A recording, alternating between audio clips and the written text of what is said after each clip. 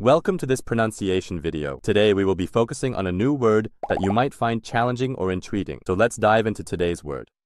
변하고, which means Change in Korean. let's say it all together.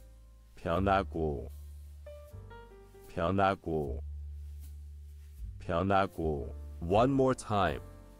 변하고 변하고 변하고 Thank you for joining us on this adventure in pronunciation. Remember, language is a journey, not a destination. Keep exploring, experimenting, and expanding your linguistic horizons. We'll see you next time.